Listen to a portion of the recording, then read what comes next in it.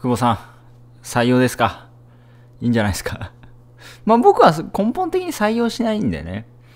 その、あの、まあでも会社の状況によりますね。まあ新卒みたいなんで、新卒だったら面白いかもしれないですね。新卒を取ろうという状態ってことですよね、会社が。であるならばいいんじゃないですか？うん。だからその会社の、多分言ったと思うんですけど、多分ね、会社の状態にもよると思うんですよ。うん。そう。だからその、なんだろうな、まあ、適材適所みたいな言葉はありますけども、まあ、武器、まあ、今戦争やってますけど、武器もそうで、まあ、どういう戦いにおいてどういう武器があった方がいいのかって多分違うと思うんですよね。例えば、なんだろうな、うーん、あまあちょっともう昔すぎるんであれですけど、あの、なんだ、相手が例えば、ああ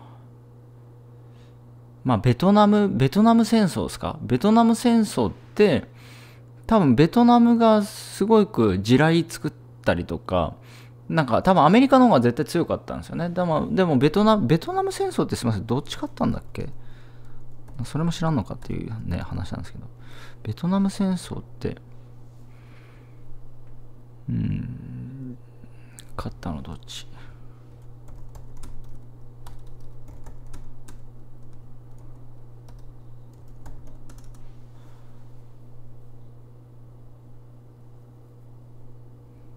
ああ、ベトナムに敗北するという形で終わったと。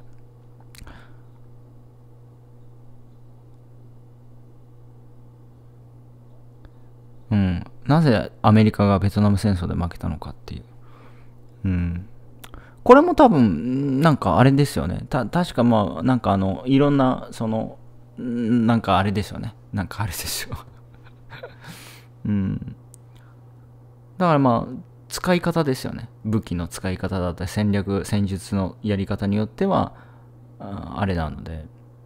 だ会社のそのステージ、状態によって、人材の採用に関しては、あれですよね。だから、その、久保さんに、なんだ、相談された方も久保さんが言ってた通り、即不採用じゃないってことは、うん、これもしかしたら会社にちょっとなんか新しい風入るんじゃないかなっていう、ちょっとは思ってる部分もあるってことですよね。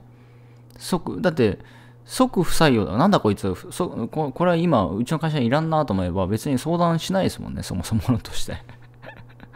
だから採用でいいんじゃないですかね。うん。そう。